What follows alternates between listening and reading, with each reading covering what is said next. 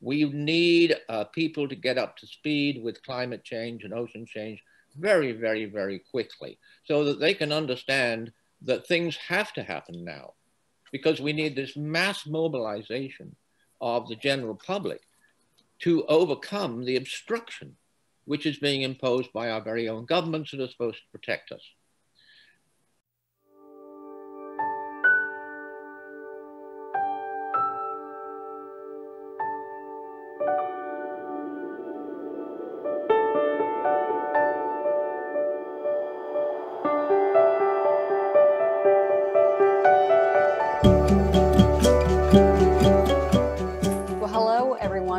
For being here today to hear the second part of our issues topics.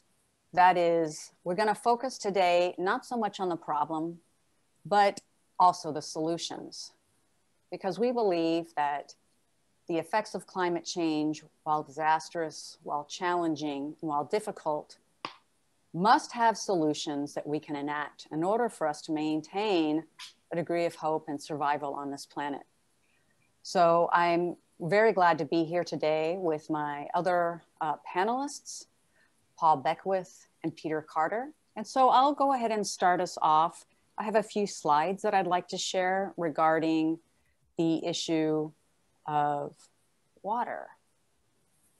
So again, we have the issue of 2% approximately of the world's water, which is potable, and that is our allotment, just 2% for an ever increasing population around the world.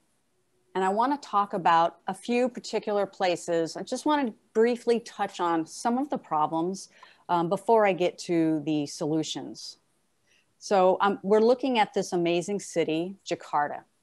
It's a beautiful city. It's a home of over 35 million people, and it's, it's rapidly sinking it's rapidly sinking. Um, while it looks like a beautiful modern city, and it is, a major portion of people in Jakarta live in what we may term urban slums, much like this one you see here. And there's very little to no water infrastructure to support this massive and ever growing population. So how do these, excuse me, how do these people who depend on water to survive, how do they get that water that they need? Well, um, necessity is the mother of invention. And so, what a lot of people in Jakarta do is they drill wells into the aquifers and then they pump out that groundwater. Normally, this would be fine because groundwater is constantly being refilled by rainfall.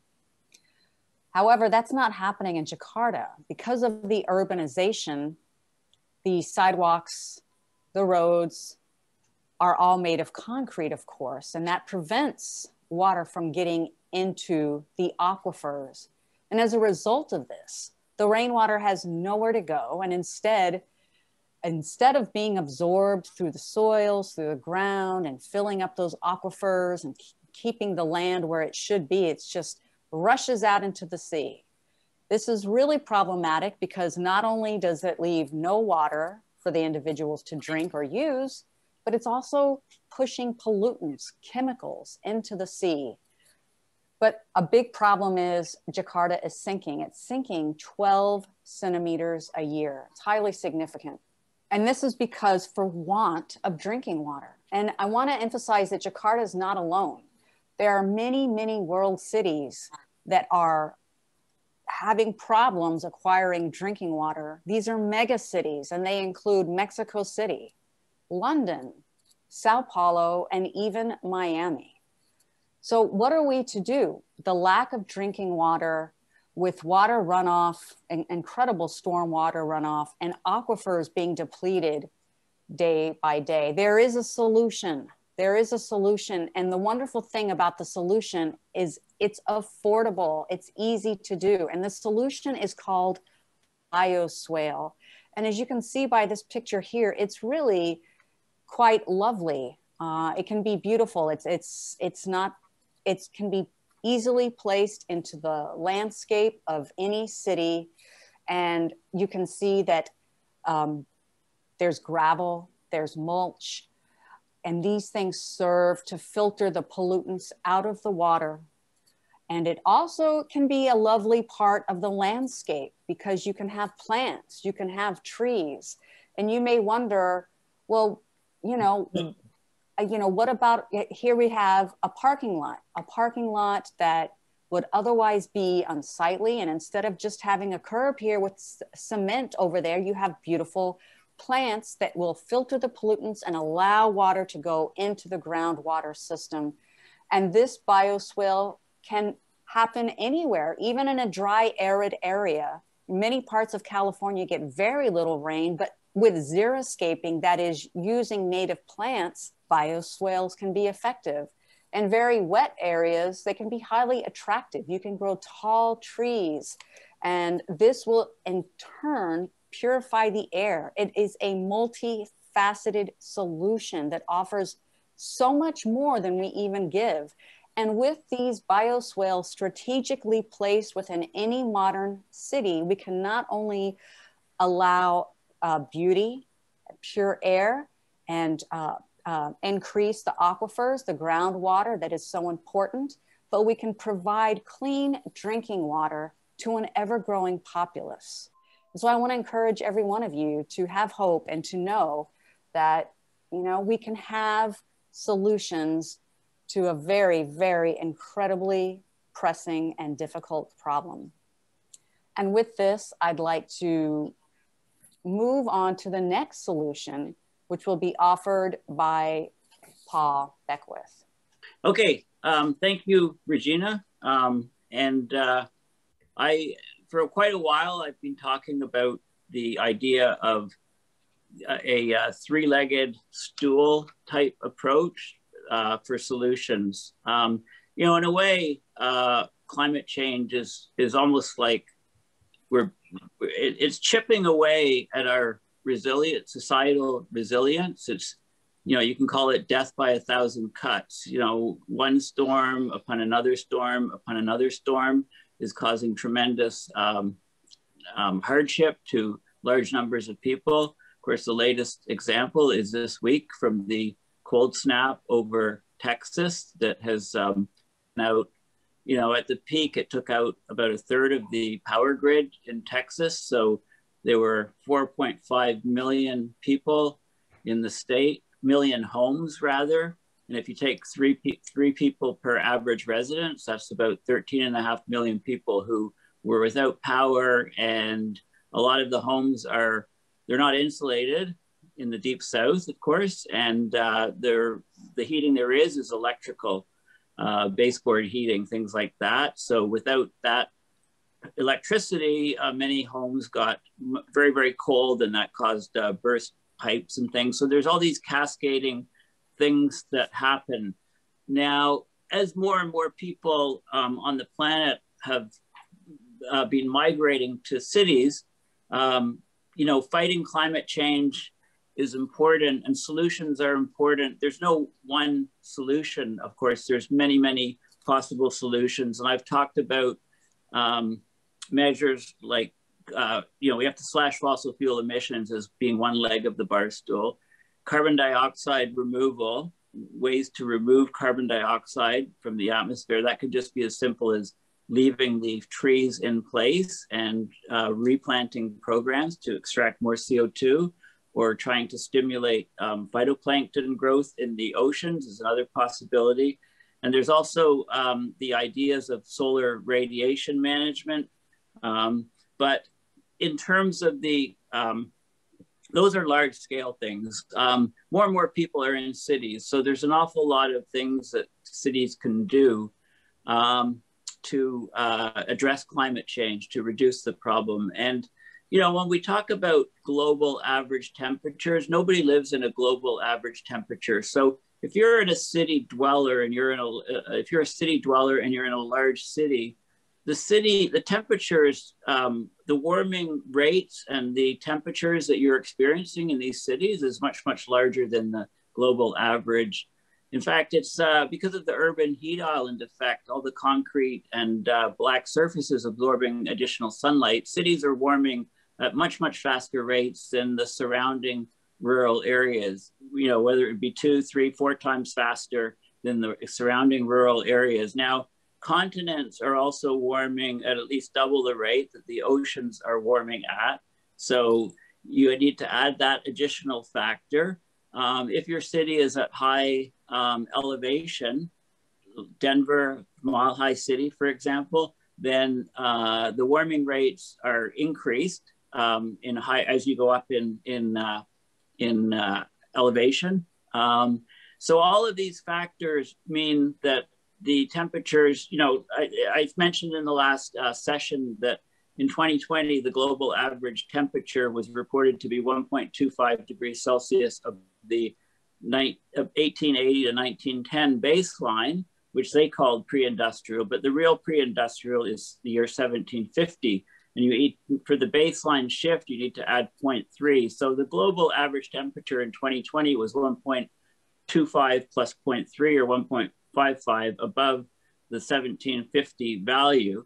But then if you're in a city, if you're on a continent, you need to double that. If you're in a city, you need to double or quadruple it as well as the doubling on top of the doubling. So, you know, we're experiencing, you know, if you're in a northern country, if you're at a higher latitude, like the entire country of Canada, the global, the temperature rise in Canada was more than double, um, du- between double, two times and three times that of the global temperature average. So then it's as if you're in a city in the northern part, you know, um, of Canada, the warming is even more greatly accelerated. So, so basically the crisis is very severe. We need to, there's no one solution. We need to look at all of the solu- uh, possible ideas from a technology and scientific point. But I want to make the point that we need, we need a different mindset. We need a different frame of mind on growth and how we operate things and how we vote in our politicians. And because we're seeing, you know, as climate disruption and mayhem accelerates, we're seeing equivalent um, levels of mayhem in our political systems. In, and um, we don't have a resilient society. We're finding that out from the coronavirus and, and our handling of it. We don't have a resilient society. From systems theory, the more complex a society is, the less resilient it is. So um, there's, so I think the first part is is uh, of, of solutions is we need to educate people young people, older people, everybody on how serious the climate crisis is and the time frames. Uh, we don't have time. We have to make strong action now. So it is encouraging um, the with the new U.S. government and you know rejoining the Paris Accord that just happened.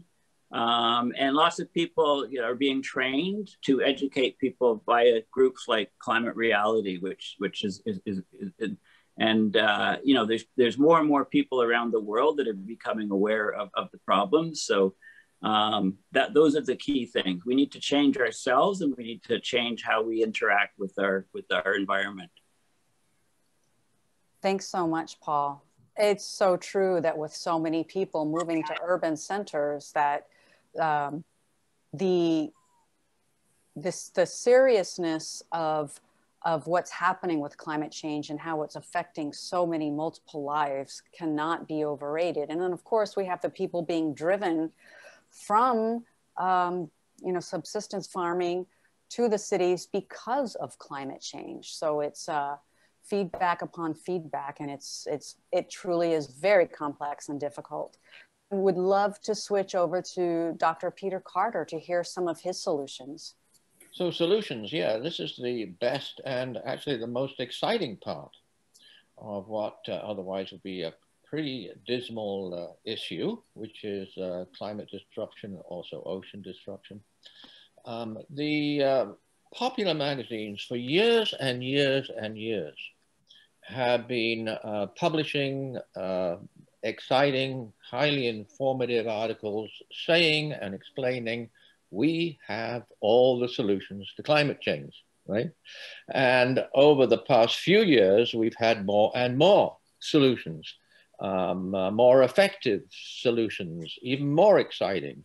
And uh, the great thing about them is, of course, the solutions um, for providing electricity become cheaper. And that is really um, uh, a key for people to understand about renewable or non-combustion everlasting energy And that is the more we develop it, the cheaper it gets for us to pay for it. And the more we use it, also the cheaper it gets. That's completely the opposite to what happens with fossil fuel energy. So uh, the economic incent incentive is very, very high. I, I want to emphasize and agree with Paul, um, uh, who um, did something that uh, a lot of people forget about, and, and that's pointed to the importance of education. Education is still number one, right? Um, I recall back in 2006, the UK government Stern Commission report, which was very, very good, I thought. And um, uh, the Stern Commission had a recipe of, of, solutions. And one of them I found very interesting, which was a public information campaign um, by the government of climate change information and persuasion, right? So um, that's really what governments should be doing. They're, they're, they're not doing it.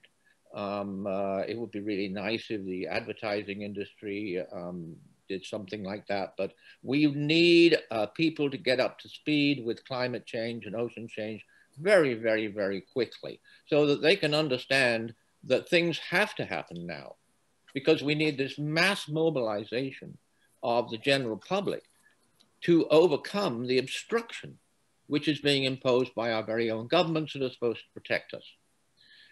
Um, Bill Gates uh, has um, got quite a bit of, actually a lot of media um, day after day um, because he did a um, program on 60 Minutes on solutions for climate change. And he's got a new book out apparently as well. Bill Gates started by uh, saying the thing that is absolutely most important. I'm very disappointed that the climate change experts um, seem to be taking some backward steps on, on this. Um, zero carbon is the law of climate change physics. And it was really good to hear Bill Gates emphasize that.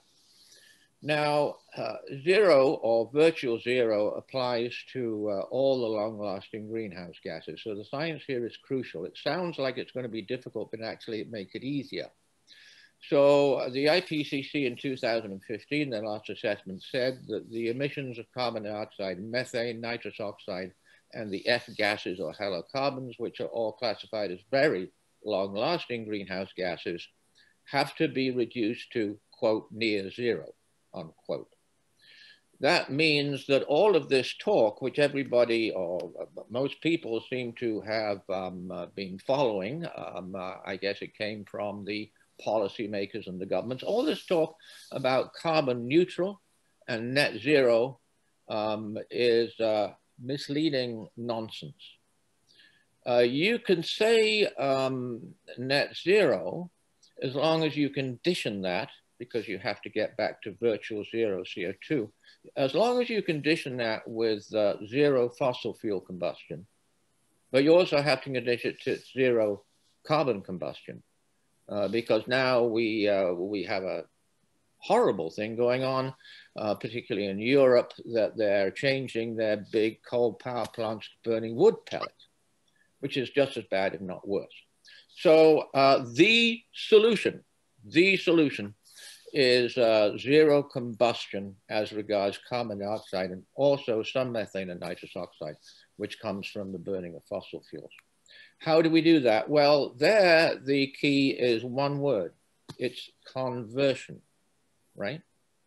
And we have known also for many, many years that we can totally convert the goods and services that are greenhouse gas polluting, as well as polluting in other ways, we can totally convert those to non-polluting goods and services it's very, very obvious. And I think more and more and more people understand that that applies to fossil fuel energy. We can completely convert, and we have to totally, completely convert fossil fuel energy to clean, non-combustion, zero carbon energy. We have to do it with the, uh, with the other things as well. Um, the F gases, which are very, very, very potent and long-lasting greenhouse gases, it's very easy to com convert those. It's absolutely ridiculous they're still being manufactured. They're man-made, human-made chemicals. So we've got to convert those to alternatives. We did with PCBs, for example. This is nothing new. We've had to do it before. And uh, then we come to something which is um, gratifyingly getting more and more attention, which is our food production. So they're sort of two big, um, easy to remember reasons um, for climate change and ocean disruption and emissions of greenhouse gases. The one, of course, that everybody knows is industrial energy production, but industrial food production is really big as well. So that has to be converted, right? We have to convert our highly, highly successful, but very damaging to the soils, degrading to the soils, and uh, also uh, very damaging to wildlife, insects, and birds. We have to convert the, um, uh, the mechanized, chemical intensive monoculture agriculture industry. And there's lots and lots and lots of research to show the benefits of doing that and the fact that we can do it. So I'll finish up with Bill Gates, who gave a great example of conversion in which he says, you know, um, uh, we, should, we here should not be eating uh, meat which has killed animals. Well, he didn't say that, but that's what he meant. He said, what we should be doing is we should not be eating that meat at all. And we should be eating uh, plant-based or synthetic meat. Now, I'm a vegan, and many years ago, it was not, not bit hard to be a vegan. You know, you go out to a restaurant and you get a bit of celery stick and a carrot. Um, but the uh, the industry, the co corporations are now producing these fabulous. I mean, you, I can eat anything. I can eat, you know, vegan shrimp, vegan lobster, you know, vegan steak, you name it. It's out there. So that's a really good example of how the private sector has responded to, um, um, you know, being good to society as well as making money, making good money. So uh, please, everybody, remember conversion. Less is not enough. Uh, more efficient is not enough, right? It has to be a conversion of our polluting goods and processes to non-polluting. And I'll finish with that. Thank you so much. Um, there's a lot there and uh, a lot to focus on in terms of solutions. Um, my question, I guess, goes to both of you. Well, it seems from these presentations that there's definitely a way.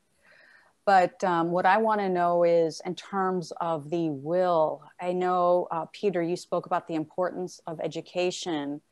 And Paul, you spoke about, uh, you gave a great example of Texas uh, you know, a lot of the problems that happen in Texas are not necessarily related to climate change, but the um, the the governmental errors that were made, shall we generously call them.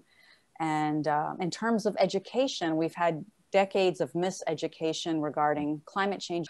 Uh, so how how do we go from knowing that there is a way to enacting the will? That that's a question I'll I'll leave for both of you. Okay, um, I think this really gets at the um, at human nature. Um, we we have to acknowledge the some of the facts of um, you know our species, and and one of the facts is that a small percentage of us do not have empathy a small percentage of, and if we don't have empathy, you know, or any care or feeling to the well-being of other people, if we're just in it for ourselves, then there's a term for that, and it's called it's it's psychopathic.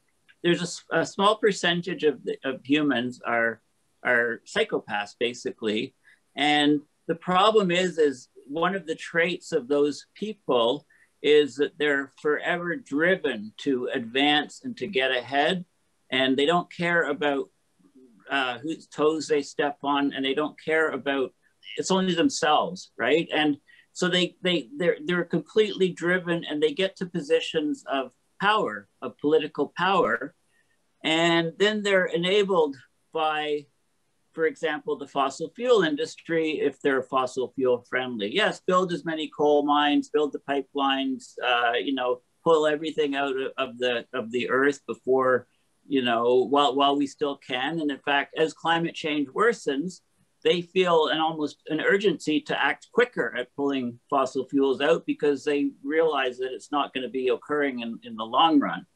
So one of the huge problems is, uh, you know, that's resulting is we're getting lots of wealth um, with just a few people. And the, the virus is a perfect example of, of making that even worse because some of the largest uh, companies were making money hand over fist while everybody else is suffering. And we see this by having record stock market levels as we're getting record suffering and job loss and so on from, from people, you know, and misery, human misery. Look at the look at what's been happening with all those people in the cold and dark and they can't eat, they're told to boil water right? And how do you boil water if you don't have the natural gas or the electricity to boil the water? I mean they may as well have been told to just bring snow into your house if your house is above freezing and, and drink the water that melts from the snow. I mean some boiling water you know they can't do it. So so um, the problem is is the political system. It's how we are leaders. It's how they gain power. Um, it's the first past the post situation with, you know, people are voting for parties. And I, I think party voting for parties is a bit of archaic because you're not going to agree to everything that one party does or says, you know, and if you give them the power, they, once they're in, they do what they want. And, and they eliminate all of the policies from the previous party. So everything is sort of, you know, you set up a renewable energy program and then four years later it's killed by the next government and then you bring it in again. I mean, we're going in an endless loop and we can't make any progress. So we need to, you know, perhaps we need to really look at, at voting more on issues, having collaborative governments and setting policies in place to address climate change, for example, that are fixed. And it doesn't matter what party comes in, right? You have those policies in place and uh, you know you don't you can't change them basically. It's not a cyclical thing and to address long-term problems. So i don't know. It's a whole sort of human nature how we govern ourselves and and how we think about you know we, we think that we're separate from the environment. Of course nothing is further from the truth. We're all connected intricately to the environment. So um, yeah so again this comes to education and also um, we have to figure out how to, the pendulum swung too far to, to free speech, I think.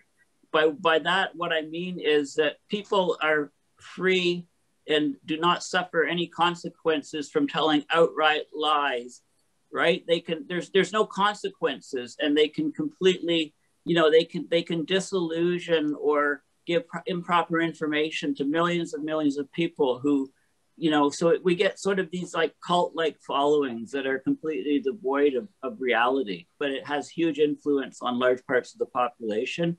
And it precludes us actually doing the right thing on, like, we build a wall in Texas. What about uh, reinforcing the power lines in Texas? Right? I mean, I mean, we, we, we do the we do the most silly things, and, and we ignore the key infrastructure that we need to keep keep uh, cities going, right? So I mean, the, the, the Texas thing is a perfect example of what not to do to govern. So, thank you. I would agree.